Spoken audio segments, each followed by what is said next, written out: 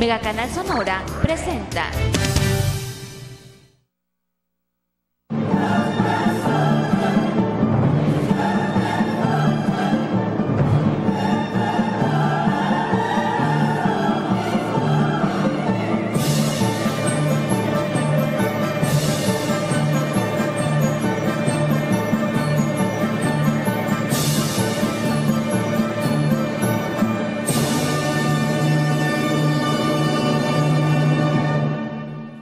¿Qué tal? ¿Cómo están? Qué gusto saludaros de nuevo esta semana casi de, casi de puente entre el primero y el 5 de mayo.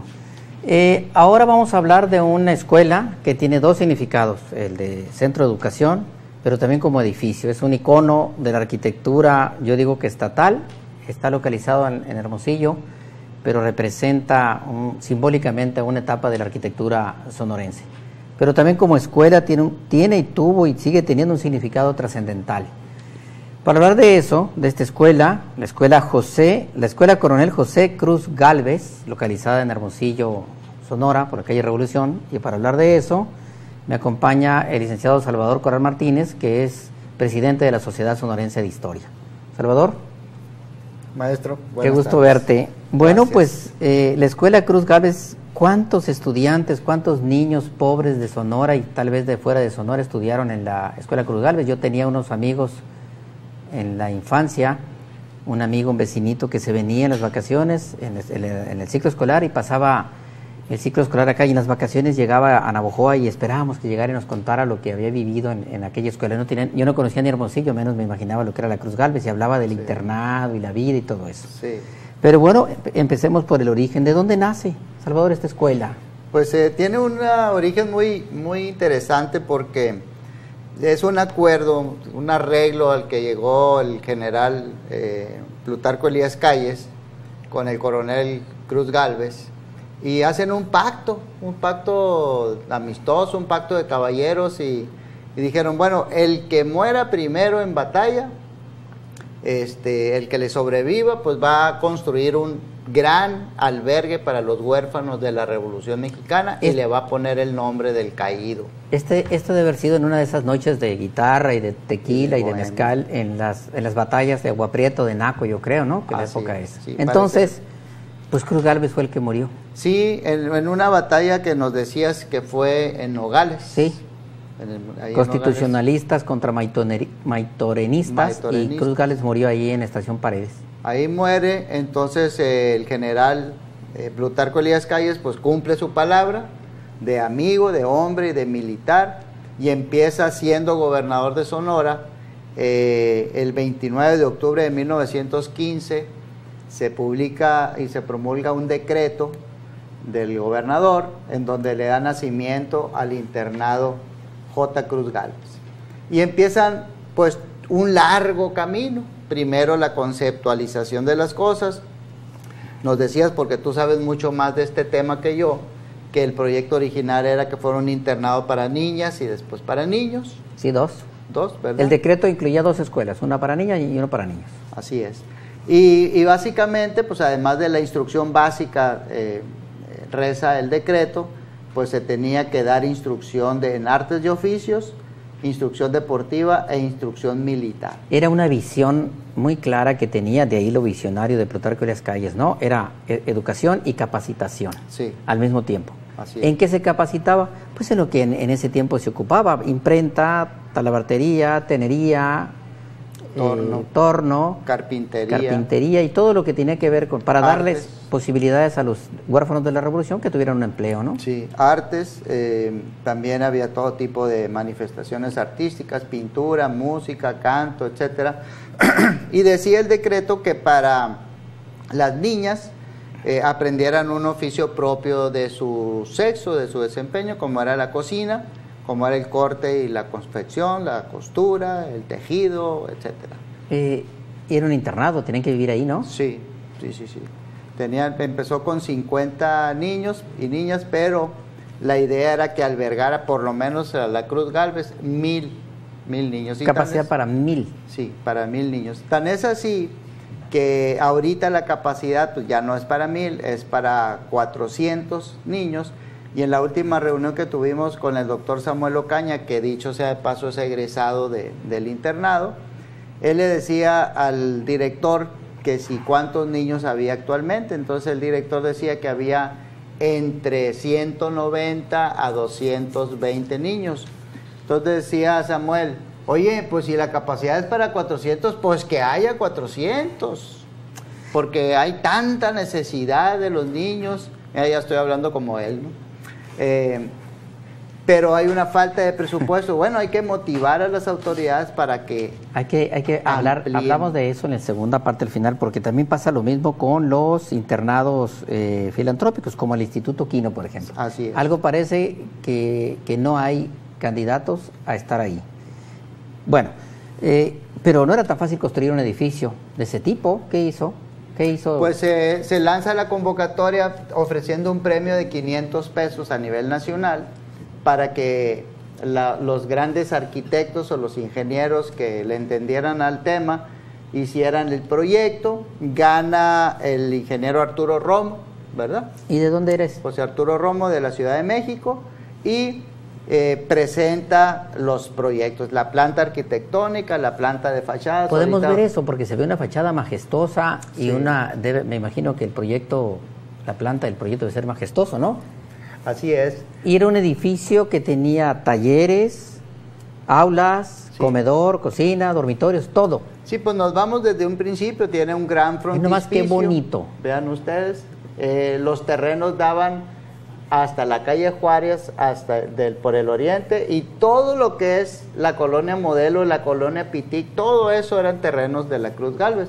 Se dice que las ollas para el, el tratamiento de las pieles en la tenería estaban ubicadas en el cerrito de la colonia Pitic, donde actualmente está la iglesia del Espíritu Santo. El doctor Ocaña los conoció, los conoció esas tinajas, no han estado en Marruecos, donde están las tinajas sí. esas de las pinturas.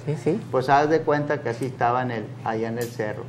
Y María Luz Divina, que es nuestra ayudante estrella, tomó unas fotos muy bonitas que ahorita van a, si quieren irlas pasando, por a ver si las podemos ver las, las, del, las del conjunto arquitectónico. Así es. Entonces, ¿cómo le hizo para conseguir dinero para construir esa majestuosa obra? Pues eh, el gran orgullo del internado Cruz Galvez es que se hizo por suscripción pública. La gente se volcó, dicen los historiadores especialistas, en los apoyos para el patronato y básicamente para el gobernador.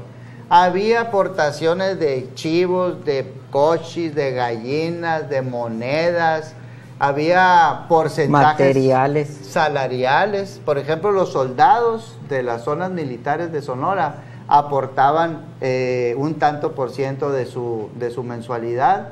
Había organizaciones sociales que dedicaban las ganancias, las utilidades de un día completo de sus actividades eran para la construcción y el mantenimiento del internado, porque parece ser que se construyó relativamente pronto. Entonces ya podían haber recibido 50 niños al principio de Y los había- mil. Y había que darles de comer y había que educarlos. ¿Trajeron profesores especiales para eso? No había, eh, había la educación básica de, en aquel tiempo, ¿no? La motivación, fíjate que qué visionaria y qué hermosa lo que, lo que Plutarco Elías Calles manifestaba. Este internado puso en el decreto, es para arrebatar de la indigencia y de la corrupción a aquellos niños inocentes y hacer de ellos hombres dignos y útiles a la patria. Fíjate nomás qué bonito mensaje. Por eso nosotros eh, estamos en un grupo que apoyamos a la Fiscalía Anticorrupción de Sonora y precisamente el plan es hacer un huerto con los niños de Cruz Galvez para decirle al fiscal, oye, no, no nomás te dediques a estar persiguiendo a las personas que pudieron haber cometido una, una falta, sino que haz un trabajo de prevención. Y un trabajo sí. de prevención es precisamente arrebatar a esos niños de la indigencia y del, y del esquema de la corrupción para ser hombres dignos y útiles a la Qué difícil se escucha poder hacer eso mismo hoy en día, ¿no? Imagínate decir que vamos a construir un edificio para, para niños de la calle donde los formemos y los arrebatemos Sí. y que le pidamos a la gente a cooperación. Eso costaría, pienso que unos 100 millones de pesos ahora. Pero fácil, así es. Hacer una escuela de ese tipo, un internado, imagínate. Así es. Ahorita, ahorita de, de- de- de la gran inmensidad de los terrenos originales quedan únicamente tres hectáreas y media. Sí, eran cientos, porque tenía asignado terreno hasta para la agricultura. Sí. Había un arroyo, todavía estaba por ahí, el arroyo del Country Club, el arroyo. San Benito. Bueno, y luego, Entonces la, com- la comunidad política y social, te decía, se volcó en aportaciones. Este, había, eh, te decía, los soldados ponían. El molino de la familia Fernández aportaba la harina y parte de los productos que, que comía estas personas. estás hablando del molino harinero, el hermosillense. El Hermosillense. De Ramón Corral, por cierto. Sí. En ese tiempo. Mira qué bonita banda de guerra, vimos ahí una foto donde se viene, no, mira qué bonita banda de guerra de la escuela. Los niños uniformados y todo. Así es. Hay fotos también de desfiles y de marchas militares de los muchachitos. Bueno, y finalmente se inaugura, según las notas que trajiste, se inaugura el edificio en 1919. Sí.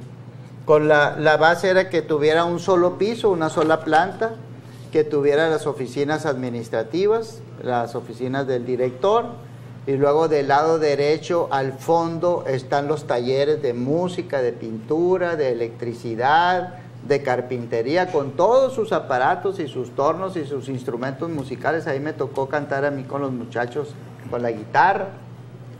Y del lado izquierdo están las aulas de lo que es la instrucción primaria, básicamente la primaria. En medio hay una gran plaza con una fuente y árboles de sombra. Y en el área posterior, a mano derecha, está primeramente el dormitorio de las niñas.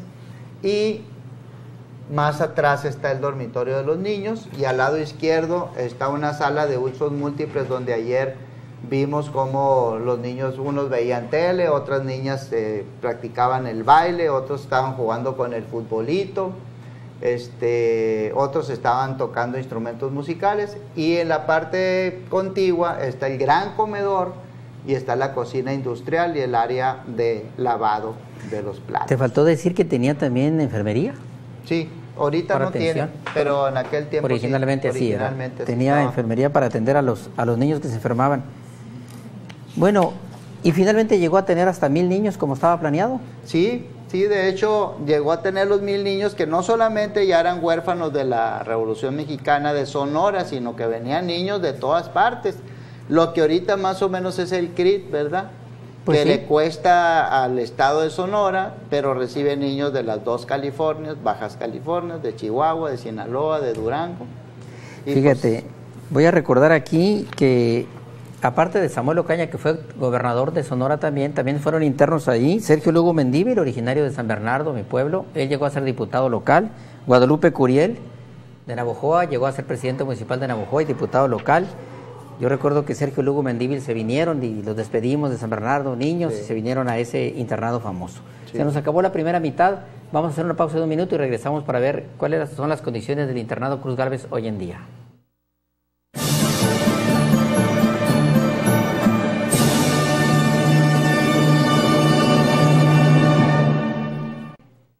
Regresamos, estamos hablando del el internado José Cruz Galvez, coronel José Cruz Galvez en Hermosillo, con Salvador Corral Martínez, presidente de la Sociedad Sorense de Historia Salvador.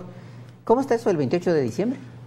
Fíjate que parte de, la- de los programas de apoyo al internado se decretó que el 28 de diciembre fuera, que es el Día de los Inocentes, fuera dedicado por completo a los niños de huérfanos del internado. Entonces lo que tú ganaras en ese día o lo que ganara yo o el comerciante o el guitarrero o el soldador, íntegro iba a ser donado a los niños del internado. Entonces tenían una buena forma de vivir esos niños, buena alimentación, buen, buen trato, buen nivel de ese internado seguramente, ¿no? Pues lo que tú dices, era una empresa enorme. Primero la construcción, el equipamiento, la alimentación, el cuidado, la instrucción deportiva. Imagínate. No, no, no, no, es una cosa tremenda. Solamente un gobernador con esa sensibilidad que después pasó a ser presidente de la República y desde México estaba pendiente hasta de los profesores. Eso se llama visión de Estado, es un, un estadista, Elías Calles, por eso es un estadista y está en historia de, de Son- de Sonora y de México. Sí, hay un, un detalle curioso. Eh, decía que cuando era gobernador, pues en Sonora había ley seca, porque pues acababa de pasar la revolución, Él mismo la... la- él mismo la decretó. pero él organizaba tertulias y bailes y pachangas y todo. Para sacar dinero. Y ahí sí, y era para Cruz Galvez, y ahí sí se permitía el consumo de bebidas alcohólicas.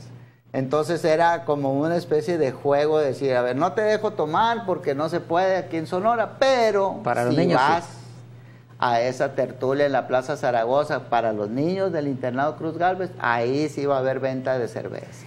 Qué bien. Y, y luego, esta escuela, como escuela, tuvo que haber evolucionado, ¿no? Como escuela, como institución, en general. ¿Qué pasó? Sí, ya deja de haber huérfanos de la revolución, ¿verdad? Entonces ya empieza a recibir niños pobres, niños eh, con una gran desventaja social, económica, familiar, para ser internados en el Cruz Galvez. Aquí hay una, un detallito, Nacho, que a mí nunca me ha sonado del todo bien, que es un internado de, lunes a viernes. Entonces se supone que los papás de esos, de todos los niños tienen que venir el sábado en la mañana a llevarse a sus niños a su casa, sábado y domingo, y regresarlos el lunes.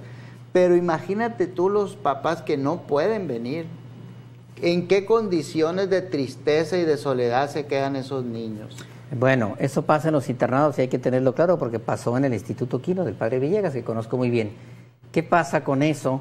Que dejaron de ser internados, primero dejaron de ser huérfanos, ya no eran huérfanos, eran niños pobres. Pobres. Eh, no necesa- muchos, eh, muchos de ellos niños de hogares desintegrados. Y la otra es que ya no se puede sostener, es, es una escuela hoy en día de lunes a viernes que se quedan a dormir ahí y los niños eh, ya no es ya no es igual, ya no es un internado permanente como el Instituto Guino. Entonces algunos niños cuyos papás no pueden venir por ellos, hay que recordar que la cobertura de la educación en Sonora también ya está casi completa. Entonces ya no hay mucha necesidad de que los niños tengan que venir hasta acá a educarse porque cerca de su casa hay una escuela Hay una de escuela. la mañana, ¿no? Como todas las escuelas. Este tipo de, yo no sé actualmente qué tipo de niños son los que están ahí, pero algunos, si no vienen, pues se quedan solos en la escuela. No sé quién se hace cargo de esos niños, debe haber un prefecto ahí. Sí, hay una guardia que se queda los fines de semana y el director, el licenciado Obed González, siempre nos ha dicho, mira, no es tan importante que traigas una piñata, un pastel, unos bollitos o lo que sea. La compañía es lo que quiere. que tú le puedas dar a un niño, que vengas a platicar, a tomarles fotos, a llevarle una modelo, a que se tome fotos y le platiquen y le pregunten, oye tú, ¿cuánto mides y cómo le hiciste y que no sé qué, y tómame una foto y, y etiquétamelas, dicen las niñas, Ya hablan el lenguaje. Hay dos cosas que hay que tener en cuenta ahora. Esa escuela, Cruz Galvez, mm, nació en una zona mm, eh, suburbana de la ciudad. Cuando nació, aquello era el, el- el monte. Uno. Dos. eh, los artes y oficios que se requerían de entonces para sobrevivir eran esas. Eso, ha- eh, eso ha cambiado. Primero, la escuela está en el centro de la ciudad, en un, en un espacio urbano eh, importante, en el centro urbanísticamente hablando, con un valor comercial muy alto.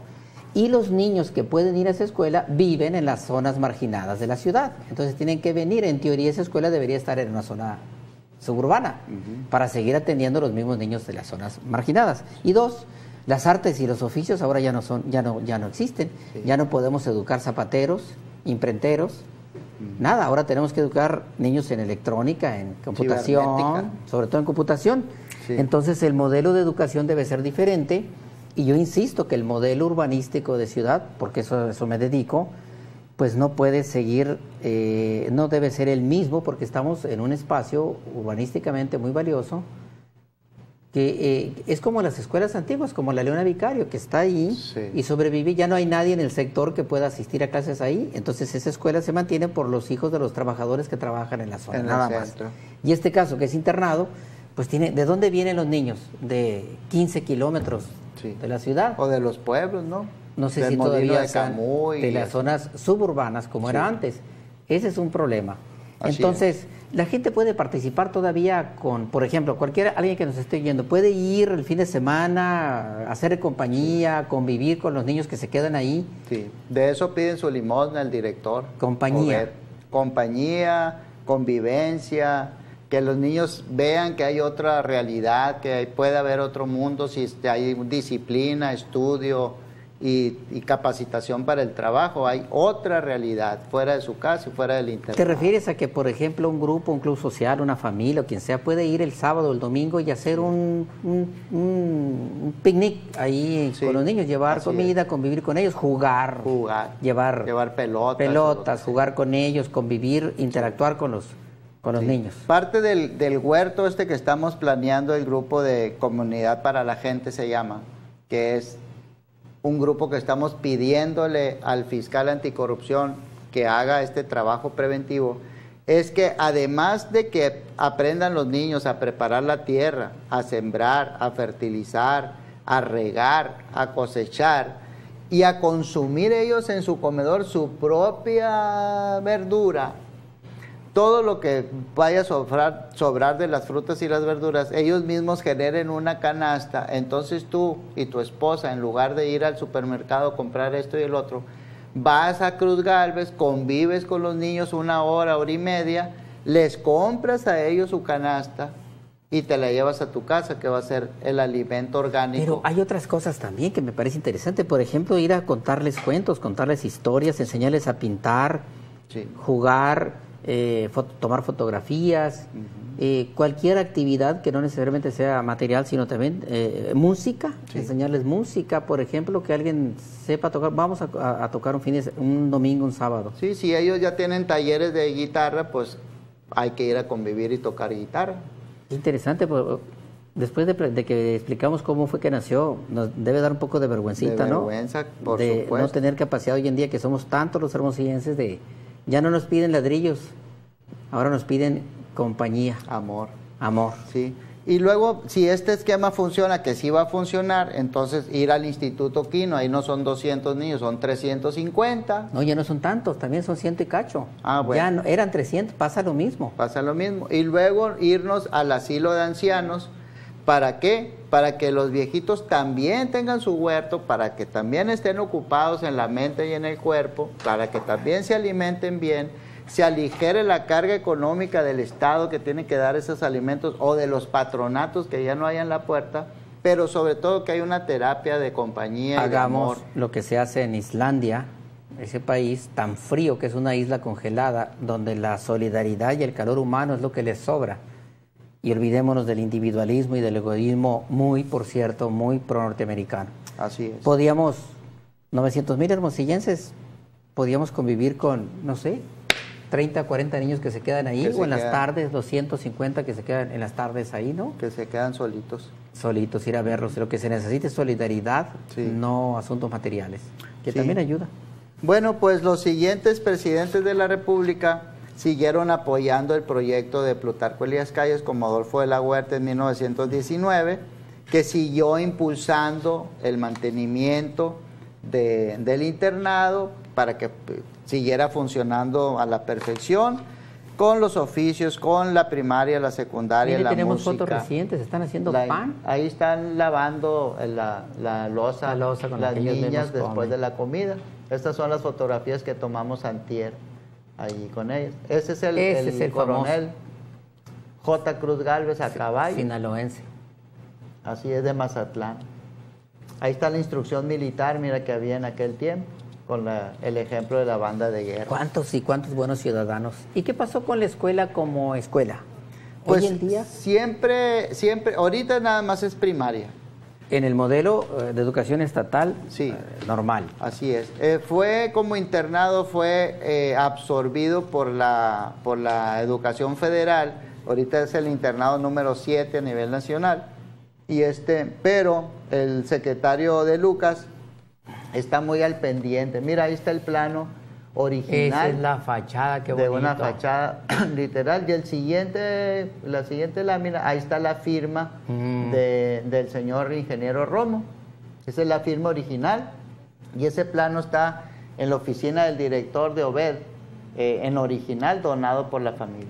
Fíjate, aquí hacen preguntas por Periscope, Salvador. Sí. Eh, dice, bueno, ya dijimos quiénes personajes eran los que han salido de ahí. ¿Qué talleres hay actualmente? Pregunta Sofía López. Actualmente que yo conozca está música, está serigrafía, está carpintería, electricidad. Eh, Kevin Moreno de Agua Prieta pregunta, ¿cómo fue reduciéndose tanto el terreno de la Cruz Galvez? Pues eh, el- los historiadores especialistas, que aquí lo tienes tú por escrito, manifiestan con dolor que no saben qué fue lo que pasó o quién se aprovechó para ver, ir, para ver cómo se reducía la- las dimensiones de lo que era el terreno original. Pues digo lo mismo porque yo he estudiado mucho esto y no sé. Lo que sí puedo decir es que la parte de atrás, una buena parte de atrás se usó, el propio gobierno del estado lo usó como almacenes un tiempo. Almacenes, donde Ahora está la que- ruina ahorita. Creo que ya no. Y luego de ahí se hizo el parque, el parque, la... ¿La colonia Pitic? No, no, no, la textiles de Sonora, la Ah, fábrica de textil, textiles. Más pegadito. Ahí, y la colonia Pitic se urbanizó en la época Por el de general Rodríguez. Rodríguez. Y el campo de golf también. Enfrente, enfrente había muchos terrenos que eran de agricultura, ya se hizo calle, se hizo escuela, escuela... Hay una escuela enfrente, la escuela Heriberto Baja. Sí, la Heriberto Baja. Una plaza, la plaza José María Morelos. Así es. Pues hay que estudiar eso, cómo fue reduciéndose el, el- esto de la prevención. Patricia Ramos desde Ensenada dice, qué importante la prevención, ¿no la pueden aplicar en el Estado? Pregunta. Bueno, deberían de aplicarla también, pero Sí. nosotros Eh, no nos encargamos. Después de, de- de- de que el presidente Calle salió de la presidencia de la República, decayó mucho, porque cuando él estaba en el gobierno federal, pues él estaba muy al pendiente hasta de los profesores, a ver quién iba, quién estaba trabajando quién no. Él se dedicaba a despedir a los, a los maestros que no cumplían con su deber. Él había sido profesor, recordemos. Sí, así es. Y entonces eh, él desde México hacía, daba subsidios, compraba maquinaria. El mismo doctor Ocaña el otro día que andábamos caminando por ahí en los jardines dijo, mira, porque ahí hay, como de adorno las máquinas antiguas, ¿no? De, de, de Sí. entorno. Y dice, en esa máquina que está aquí a la intemperie yo trabajé. Aprendió a usarla. Sí. Porque ahorita Obed, el director, quiere hacer un salón, aprovechar un salón para hacer el museo del internado J. Cruz Galvez, de ahí incorporar esa, todos estos planos y fotografías antiguas y Si anécdotas. los sonorenses de 1915 pudieron hacer eso, ¿qué los sonorenses de hoy en día no podremos hacer ese cooperar un día Ese de salario parece parece museo cuando menos? Sí, sí. Que es un atractivo urbanístico porque ve ese edificio tan bonito. Así es. Pues en 1925 decayó muchísimo el internado, obviamente por falta de dinero, por falta de recursos, y después volvió a tener el auge ya, este, se fue levantando pues poco a poco eh, los talleres y la instrucción, ya no había instrucción militar, pero sí había deportiva, el huerto pues desapareció, ya no había frutas y legumbres, y en 1994, en el gobierno del licenciado Manio Fabio Beltrones, se le dio ya la seguridad jurídica a los terrenos, a lo, a lo poco que quedaba, y se le clasificó su uso para prácticas educativas, culturales, deportivas, de servicio y de salud. ¿Qué es lo que es hoy en día? Entonces, está- se nos acaba el tiempo, Salvador. Eh, eh, eh, creo que cualquier sonorense, cualquier hermosillense puede ayudar y cooperar y colaborar con, la, con la Cruz, con lo que pueda, pero sobre todo con amor, como aquí se dijo, con Así calor, es. con compañía y con, y con amor. Nos vemos la próxima semana. Muchas gracias.